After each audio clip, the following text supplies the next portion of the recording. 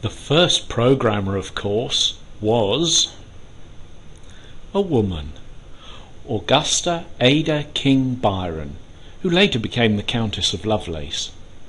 She was quite a sickly child and spent an awful lot of time in bed, so to keep her amused, her parents got her tutors. She learnt several languages, and she became a maths prodigy, someone that all the others wanted to meet. And that's how she came to meet Charles Babbage.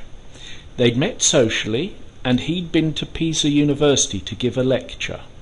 The lecture had been recorded in Italian, and she translated it from Italian to English.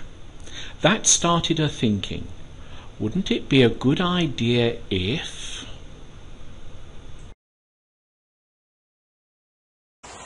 Most advances in technology come about through war.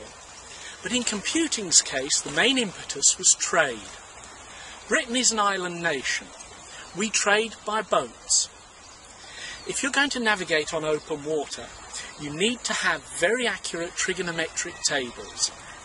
These trigonometric tables used to be calculated by hand. But Babbage and Lovelace thought it'd be a really good idea to do it by a machine. That way all the errors that were in there could be ironed out. And so they set about creating and programming the analytical engine and its successor, the difference engine. This computer was way ahead of its time. It could be programmed, it had storage, and it could display results. There was one problem though.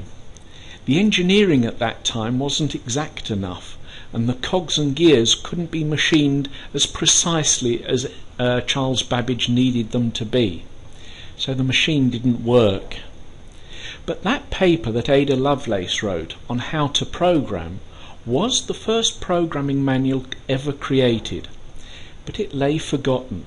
It lay forgotten in Pisa University until after Alan Turing worked with the real electronic computers.